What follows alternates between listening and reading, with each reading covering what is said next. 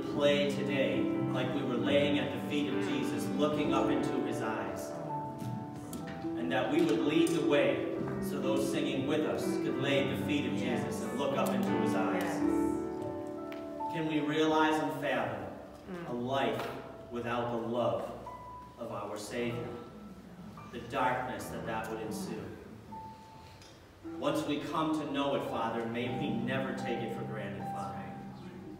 And may we realize that there's people out there right now that aren't experiencing that love, Father. Make it real to us.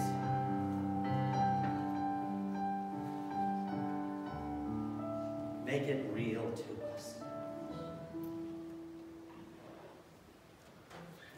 I was thinking while we were singing that song, he never does give up on us, you know, he always helps there, you know. We just gotta ask and just, he'll be there for us. Amen. Amen. Well, I've been talking about, you know, going on control, and lately, the last few weeks, we've been talking about how the enemy attacks. And every time I say, well, Lord, I was working my way through Revelation and I want to move on to the next church, God says, nope, it's not time yet. There'll be a time that I put that back on your heart, you're going to go back in and finish the seven churches. But there's something I want you to talk about. The Lord put it on my heart. He said, You always tell your leadership that if you do a sermon on the love of God, it will draw them to step out in faith in ways that no other sermon ever could. If you can just give them a glimpse of the love of God, just for a moment of my love to them, it's going to change their lives. We're ever, ever growing closer to Him in every step that we take. So I want to start today by reading Romans chapter 5, verses 5 through 10. When you're patrolling and the enemy tries to attack you, this morning we had a conversation with our worship team. And I said, when you're in a war zone, you never, ever, ever recognize a leader. The leader may walk up to you and say, okay, this is what the plan is today. But he removes insignia, he takes it off, you cease to salute him. If you salute your leadership in a war zone, that can actually bring disciplinary actions. Because the enemy does nothing but just sit and watch all day and says, who is their leader? And the very minute that you recognize that leader and you salute or you do something in a war zone, that person now becomes a target. Because the enemy says, my goal is to take out the leader. So those of you who are leaders, those you who've been voted in, remember that. One of the ways that Satan comes at us and he tries to defeat us, last week he said, you know what, you stink. But we've seen God doesn't care about that. The last thing that Jesus was worried about when he raised Lazarus was the fact that he might stink. That never even came into mind. So then when Satan gets foiled and you say, I resist you, Satan, get behind me. The next thing he says is, well, God couldn't love you because you messed up this week. So that love is, kind of, it's not there. And that is something that the enemy will whisper in our ear every minute of our lives. Because he knows if he can get us to believe that for a split second, we're going to step away from God. We might, that might hinder that step of faith we were going to take. The person we were going to go talk to, the person we were going to go edify, lift up, and build. We might think I'm not good.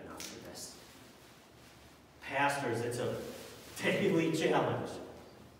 Daily challenge to live life every day and then still somehow be a leader when you still manage to slam your fingers in the door of the truck or you get out and you spill coffee down the front of yourself mm-hmm. and you have one of those moments. You know? You don't swear, but there was some very unholy silence. and people are watching you. They watch everything that you're doing and the way you react and the things that happen to you. And so, remember that. And one thing he says is God doesn't love you. Romans chapter 5. Now, just a little bit about Romans. Paul wrote it. He was on his way to Jerusalem, and he said, I really like to go to this church, but I can't right now, so I'm going to write this letter. And the, there could be a whole movie made about this. He was, he was carrying a donation that somebody had given him, and he was bringing it to the church in Jerusalem, and they were really struggling. They needed that, they needed that money, and Paul was in charge of carrying it. And so then, then there could be a whole movie made on Phoebe, and he gives her the letter and says, you need to deliver this to this church. But because he couldn't go and talk to him, we end up with one of the greatest theological letters that Paul has ever written. The book of Romans is the foundation of our belief system. Have you ever thought, man, if I was stranded on a desert island, I could only have one book out of the Bible? It depends. If I was stranded with my wife, I'd want Song of Solomon. But if I was by myself, I would probably pick Romans. So, Romans 5, 5 through 10. Now hope does not disappoint because the love of God has been poured out in our hearts by the Holy Spirit who was given to us. Whole nother sermon there. For when we were still without strength, in due time Christ died for the ungodly. Maybe you could circle that in your Bibles or highlight it with your electronic, however that works nowadays. For scarcely for a righteous man will one die. Yet perhaps for a good man someone would dare to die.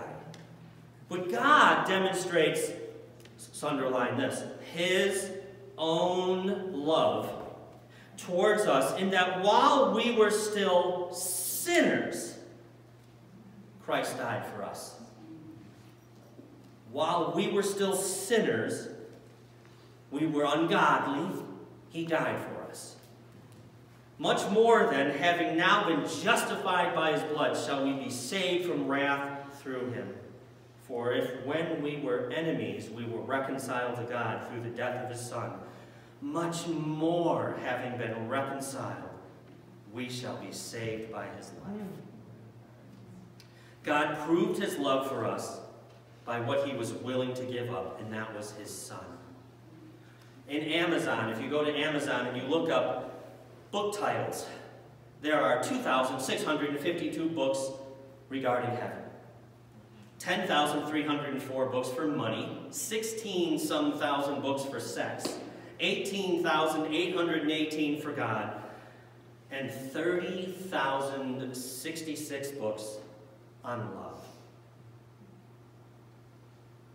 Love is one of the deepest human needs of all.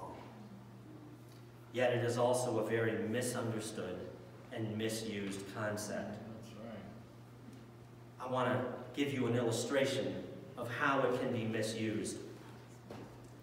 A husband and a wife each had a diary. And one day they were kind of really struggling. And in a wife's diary, she wrote, Tonight, I thought my husband was acting weird. We had made plans to meet at a restaurant for dinner. I was shopping with my friends all day long, so I thought he was upset at the fact that I was a bit late. But he made no comment at all. Conversation wasn't flowing, so I suggested that we go somewhere quiet so we could talk. He agreed, but he didn't say much. I asked him what was wrong, and he said, nothing.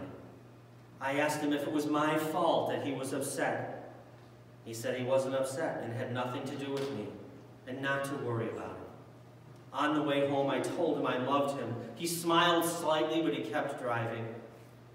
I can't explain his behavior. Dear diary, I don't know why he didn't say, I love you too. When we got home, I felt as if I'd lost him completely, as if he wanted nothing to do with me anymore. He just sat there quietly and watched TV. He continued to seem distant and absent. Finally, with silence all around us, I decided to go to bed. Go to bed, and about 15 minutes later, he came to bed. But he still felt he was distracted, and his thoughts were somewhere else. He fell asleep, and I cried. I didn't know what to do. I'm sure his thoughts are with someone else. My life is a disaster. So then she crept down the stairs, and she thought, I'm going to read his diary. She opened it up, and there were two sentences. A one-foot golf putt. How could I have missed a one-foot golf putt?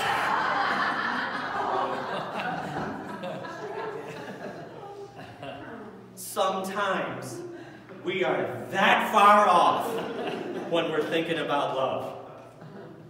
That far off. You ask a couple who's been married 50 years and you say, Did you jump out of bed with butterflies every day? And did you sense this kind of love every day like you felt like when you walked down the aisle? And they're going to say, No, that didn't happen every day. But I made the choice to love. Love is a choice, it's not a feeling. That's right. One of the first churches I pastored, you know how I say present yourself? That was the thing that I, I harped on for like a year straight. Love is not a choice, or love is a choice, it's not a feeling. And we got the, the kids all came in from Sunday school one time and they lined up on the church altar for pastor appreciation. They held hands and the teacher said, What do you have to say? And they said, Pastor, love is a choice, not a feeling. And it just is a moment that is very important to me. Because that's exactly what it is. And Jesus demonstrated that. Many times we misunderstand love. When a man wants to prove his love for a woman, what does he do? He writes a poem, he composes a song, he might buy her an expensive gift, he might even ask her to marry him. What did God do to prove his love for us? And in Romans 5 8, it gives us that answer. God demonstrated his own love for us in this that while we were sinners, Christ died for us. Amen. Man. Sometimes when I think about preaching on love, I think, well, Lord, am I kind of wimping out? Isn't that the easy way to go? But it's very complicated because we complicate it. The big idea God proved his love for us by what he was willing to give up his son. So, why does God love us? In John 1, 1 John 4, verse 8. Now, I'm going to go to the next thing I had, or can we go to the one before this? Oh, keep going. Next one. Nope, I'm sorry, the other way. Next one. There we go. Today, I, I, as I was laying in bed last night and I was falling asleep, I thought, I don't have a Mac because I'm preaching on God's love. And my wife gets really upset if I don't have a Mac. But she really likes the Macs. So I thought, I'm going to put every part of the earth that God loves, which is the whole thing. So there we go. There's our map. Now, You're missing the was that? You're missing the Antarctica. Is it not on there? I thought it was. That part that curves up into the top? Well, God loves that too.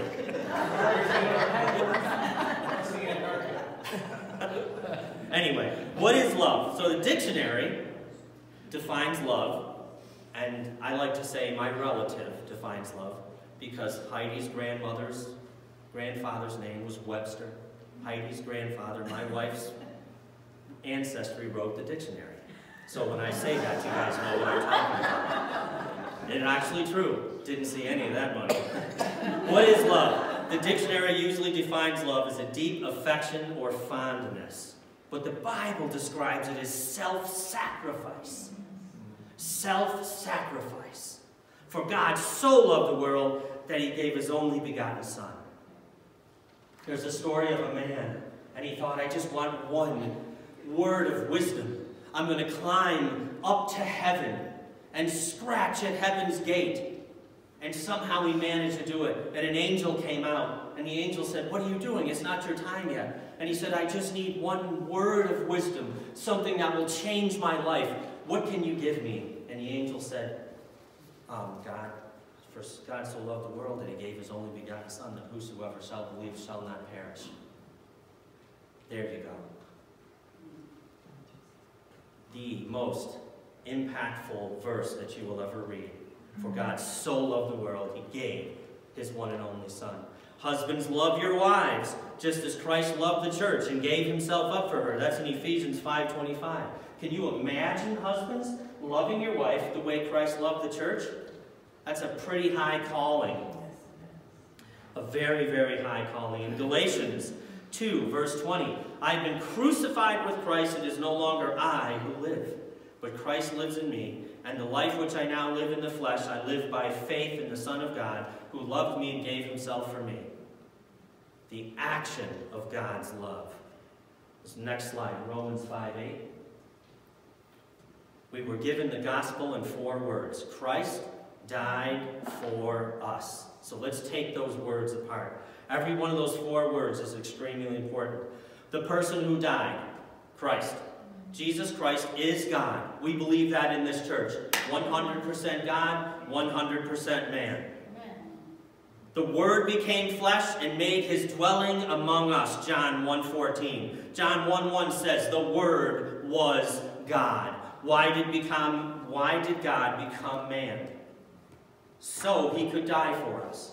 That cosmic plan was put into place before God ever even breathed life into Adam. He made that plan because he knows the beginning and he knows the end. Would you be willing to become, so I've often thought, when I was a little kid and I made Play-Doh people, and you would think, you know, if I did create something, would I be willing to let myself become one of them and then let them torture me and kill me, and would I become a sacrifice for them? I don't know, it's just, I guess, something kind of think about as a child. Maybe a weird child, like. Christ died willingly. It is appointed unto men once to die, in Hebrews 9.27. For us, death is an appointment, but for Christ it was a choice. He actually made the choice to become man and then die for us. In John 10.18, no one takes it from me, but I lay it down of myself. Woo! John 10:18, no one takes it from me, but I lay it down of myself. Can I get an amen? amen? I have power to lay it down, and I have power to take it again. This command I have received from my Father. He obeyed the Father's will even unto death. Okay, so Christ, now the next word. The death he died, the word died. Christ became obedient to death, even the death on the cross. In Philippians 2.8, that's what it says. He became obedient to death. He didn't experience an ordinary death. He suffered the death of the cross and the sins of the world. I don't think we can ever understand what that takes.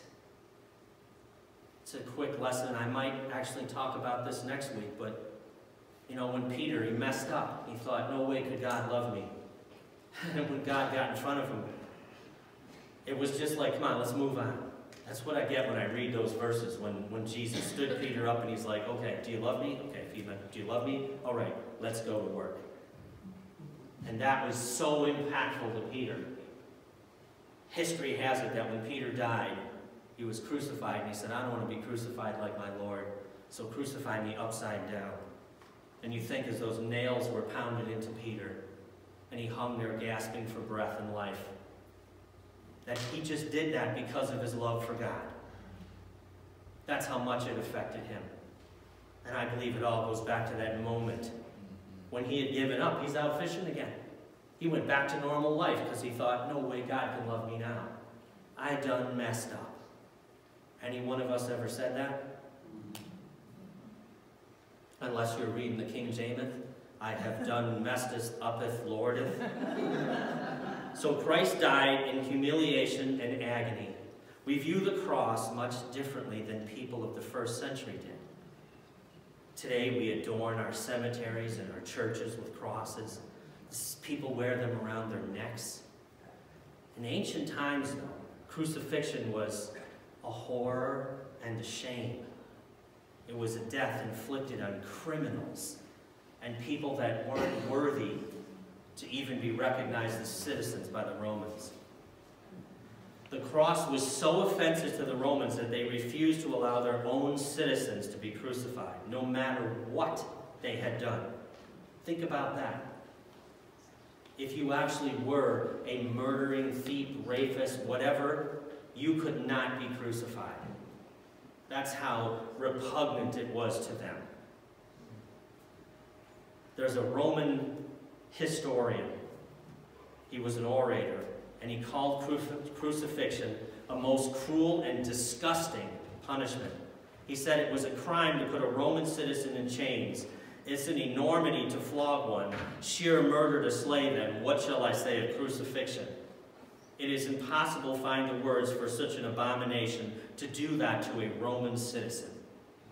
That's how they viewed. So we see the cross sometimes differently through history because it's become such a symbol to us. But back then, it was not even worthy of a dog. And that's how Jesus ended up on that cross. Let the very mention of the cross be far removed not only from a Roman citizen's body, but from his mind, his ears, and his eyes. That's what the Roman historian wrote. Those crucified were made a public spectacle, often being affixed to crosses in bizarre positions, and their bodies left to be devoured by vultures for hours, if not days. The person would hang in the heat of the sun, stripped naked and struggling to breathe. In order to avoid an asphyxiation, he must push himself up with his legs and pull with his arms, triggering muscle spasms. This caused unimaginable pain. The end would come through heart failure, brain damage caused by reduced oxygen supply, suffocation, and shock. Atrocious physical agony, a length of torment that was unimaginable, and public shame combined. Think about the public shame when they talk about the fact that a Roman citizen could never be brought to this lowness. And that's what they did to Christ. And he made the choice to do it. He wasn't forced. He said, willingly I go. Imagine the Son of God nailed naked to a cross. The way he died, let's go to the word for. Christ died for. That equals on behalf of. Get back to the original Greek. On behalf of. Christ died in my place. During the U.S. Civil War, there was a farmer, and there's a story out there, and his last name was Blake, and he was drafted as a soldier, and his wife had just died, and he was taking care of his children. And he got called into service in the Civil War. And his neighbor heard about this and knew his situation. So we, he went and took his little draft paper and said, I'm going to go in your place because I know your situation. The guy's name was Charlie, and he was actually killed in the very first battle. When the farmer heard this news, he saddled up his horse, he rode out to the battlefield, he found the body of his friend, and he arranged to have it buried in the churchyard where they used to always sit and talk. And on a piece of marble, he carved the inscription with his own hands. It was roughly done, but with every blow of a hammer and a chisel, tears fell from his eyes, and he placed a marker on the grave of his devoted friend who became his substitute. Many villagers wept as they read the brief but touching inscription, He died for me. Christ died for me in my place as my substitute. So, for, in place of, in place of me. And then, the last word, us. Christ died for us. Think about how we are described in Romans 5. It describes all of humanity. Christ died for the powerless in verse 6, which means helpless, because we are unable to save ourselves. It's often said, people say, God helps them who helps themselves, but that's not biblical. But Romans 5 teaches that God helps them that cannot help themselves, the helpless, that's who he died for. The ungodly in verse 6, those who refuse to worship God. He died for the ungodly. The sinners in verse 8. The enemies in verse 10. Christ died for sinners. He died for the ungodly. And he died for enemies. The nature of God's love is unequaled. In these verses, it says, His own love. I told you to underline that. Very rarely will anyone die, if you read in verse 7. Very rarely, there's another slide for this. Very rarely will anyone die for a righteous man, though for a good man someone might possibly dare to die. That's in Romans 5 7. So this verse is interpreted in a couple of different ways. One interpretation, there's a difference between a righteous person and a good person. A righteous person is just someone we respect, but a good person is someone we love. What he's saying is, even in our earthly minds, we're probably not going to die for someone we respect. We may die for someone we love. And even that, there's a chance to it. Greater love has no one than this, that he lay down his life for his friends. John 15, 13. So the pinnacle of human love is the giving of one's life for a person that one is close to. A spouse, a child, a best friend. You hear about mothers in rivers and they're holding the child as they drown out of the water. And there's true stories about that. The love of a mother. Think about that when you think about the choice that God made for us.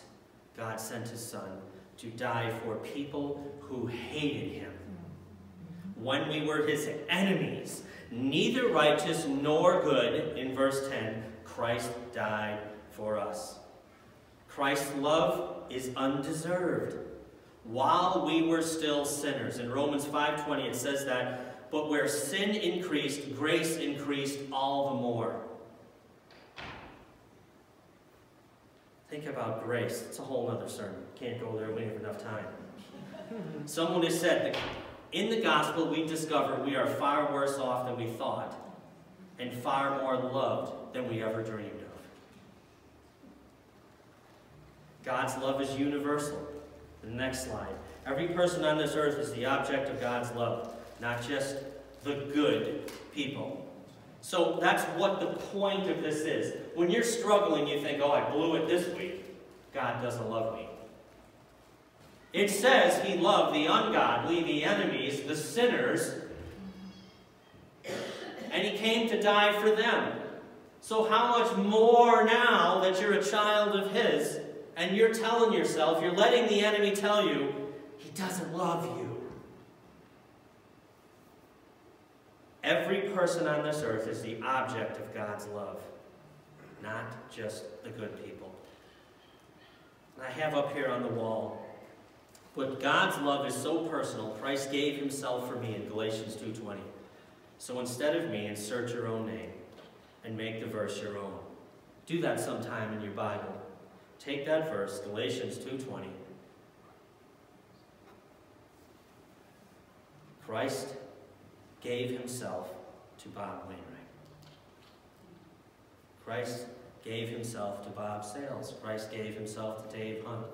Christ gave himself to Neil Morissette. I was, I was mangling the name, so I was hesitant to say but I gave it a shot. Did I get close? He's, is it French? That's why. I still don't even attempt Rance's last name my response to God's love. So, what is my response to God's love? I should receive God's gift of love. That's what it takes. Receive it.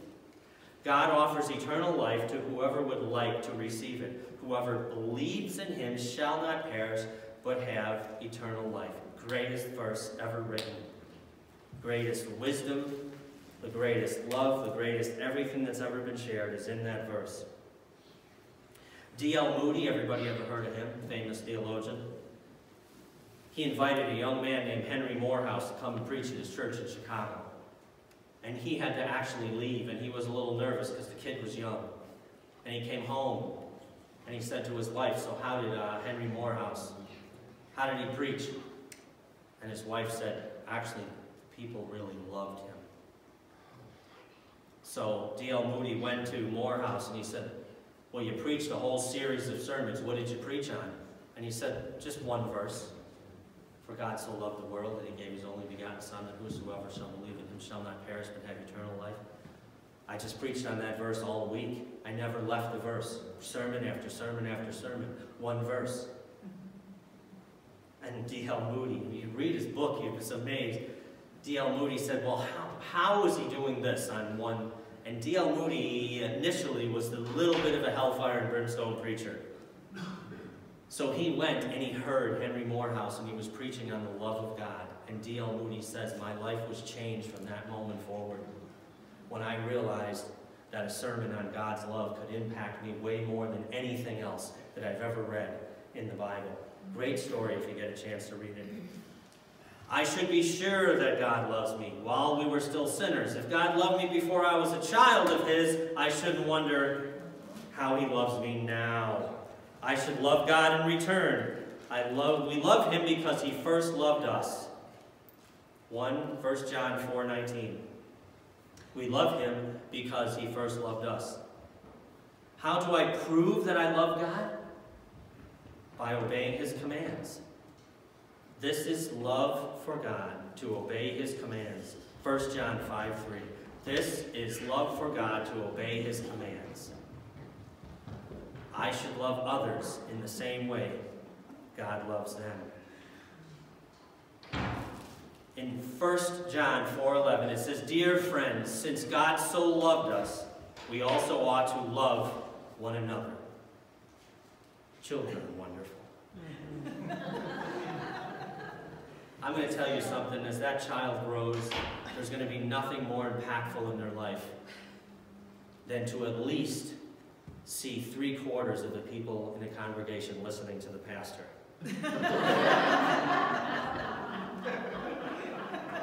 Dear friends, since God so loved us, we also ought to love one another. 1 John 4.11. I'm going to say that one more time. Dear friends, since God so loved us, we also ought to love one another. And that love was a choice. Did you ever wake up in the morning and you're like, man, I'm rough. like, you can't get to the toothbrush fast enough. You're like, man, oh man, I don't know what is going on. But did you ever think, the way I am right now, no way God can love me? Because we're basing it on how we see ourselves at that moment, and that's not how we need to look at God's love in our life. Because there's many, many times that I wake up in the morning and at least in my eyes, I'm not lovable. But I have to know that no matter how I feel, God made that choice to love us. And that inherently is the problem in the world today. You can't turn on a TV show and not hear someone say, I'm sorry, I've just fallen out of love with you because love is a choice. But the ratings aren't as high when you hear, I've decided just not to love you. that doesn't. And did you ever see these TV shows where they're kind of friends, and then they have a moment, they stare in each other's eyes, and then it reverts to a next scene and they're cooking breakfast together, and suddenly they're in love. They're hanging all over each other, and you're like, so the world is showing us that love is nothing more than a physical thing and a feeling at the moment. And God is saying it's the exact opposite. And my challenge when I'm meeting with couples is I'll tell them, if you learn to decide to love your spouse, the feelings will come. Because those are blessings of God. But the first thing is a choice, regardless of how I feel. I'm here for the long run. Who should we love? Remember that Christ died for his enemies. He prayed, Father, forgive them. Love your enemies in Matthew 4, 544. That's a rough one. We can all think of somebody that we look at as an enemy. I love scrolling through Facebook sometimes and you see, oh, love God, love, they have all these verses and then there'll be something about some criminal that something happened to him, and you see people, I hope he burns, I hope he oh. rots in a prison, I hope he, and you're like, wait a minute, where was the love? It was just two, two posts up. How will you respond to God's love for you? So as we close right now, we're going to prepare for our uh, communion. If you want to start coming forward, section by section. in 1 Corinthians 11, 23 through 26. With the cross in mind, through the lens of the cross, think about this. For I received from the Lord that which I also delivered to you, that the Lord Jesus, on the same night which he was betrayed, took bread, and when he gave thanks, he broke it and said, Take, eat, this is my body, which is broken for you. Do this in remembrance of me. In the same manner, he also took the cup after supper, saying, This cup is the new covenant of my blood. This do as often as you drink it, in remembrance of me. For as often as you eat this bread and drink this cup, you proclaim the Lord's death till he comes. So today, as you work your way up here and you receive communion, let's just think about that cross in the eyes of God's love for us.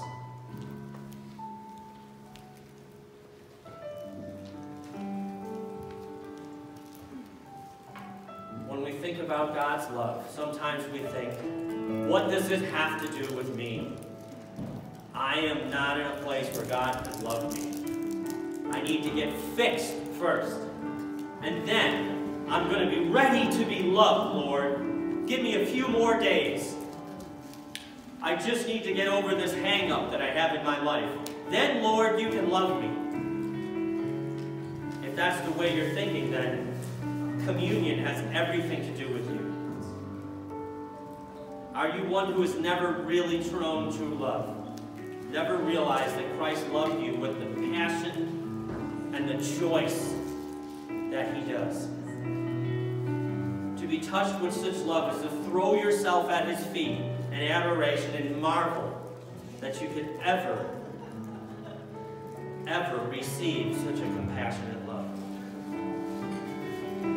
Wouldn't you allow the hardness of your heart to melt before God's love and allow Jesus Christ to be your Savior? Perhaps you're somebody that's already accepted the love of God. You have believed in Christ, but the reality of that love has somehow become a little distant to you. Maybe through life's trials recently, you've struggled accepting and really believing that that love is solely for you.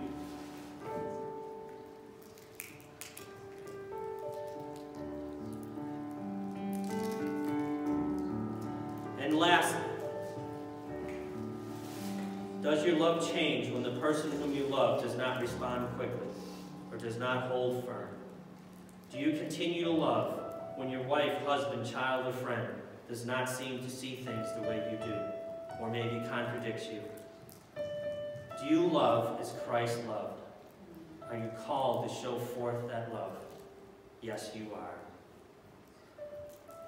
As we celebrate communion, and again, bread is on the top of the cup. I know that a few times as people didn't realize how that worked. Kind of a COVID thing happening, so we're not sharing anything. I'm going to read this again. 1 Corinthians chapter 11. For I received from the Lord that which I also delivered to you, that the Lord Jesus on some night, on the same night in which he was betrayed, took bread, and when he gave thanks, he broke it and said, Take this. This is my body, which is broken for you.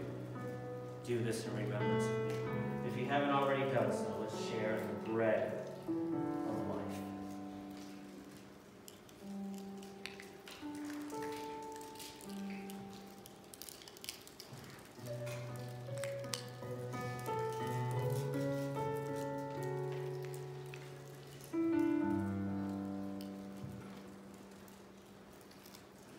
Thank you, Heavenly Father.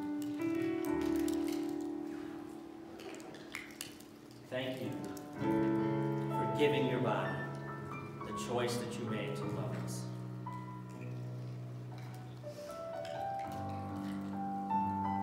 In the same manner, he also took the cup after supper, saying, This cup is a new covenant in my blood. This do as often as you drink it in remembrance of me. If you haven't already done so, let's share the blood of Christ.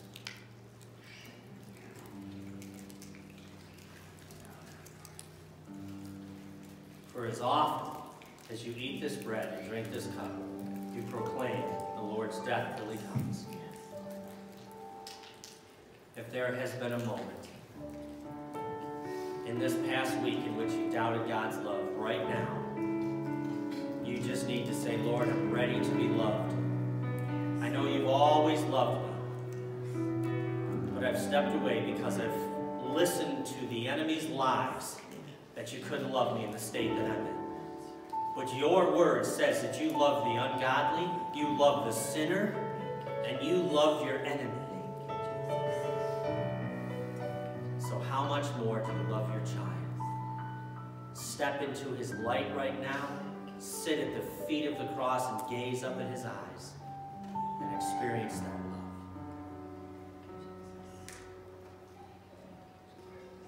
Bob, could you close us in prayer?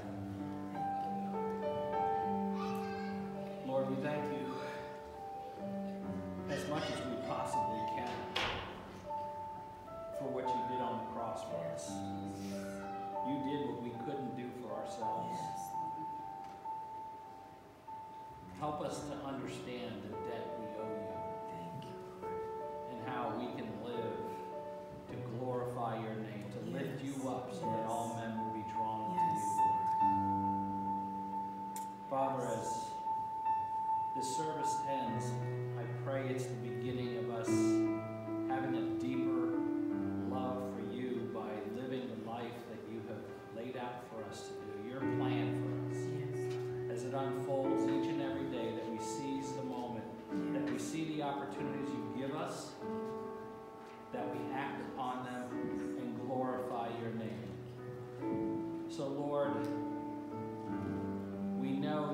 know